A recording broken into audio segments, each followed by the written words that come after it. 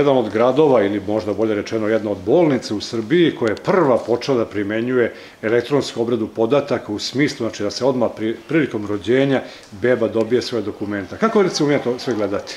Pa vidite, mi smo, dve babice su edukovane za sistem elektronskog prijavljivanja beba i gledam na to, tu je sad povoljna okolnost za majku, za roditelje, da ne moraju ići u da prijavljuju bebu, dobijaju posle 3-4 dana, to će vam reći babica, sve papire o prijavi bebe, ime i tako dalje. Tako da je to malo savremeniji pristup prijavljivanja i za roditelje olakšana situacija da ne mora da idu da prijavljuju bebe. Jer nije bilo nikakvih zabuna kada roditelji sve to saznaju? Pa Ne, ne, nikakve. Roditelj ima pravo da odbije, da ne potpiše da bude elektronsko prijavljivanje, to je njegovo pravo, ali za sada problema nema, evo reći će malo više sestra koja je bila na edukaciji ili i tako.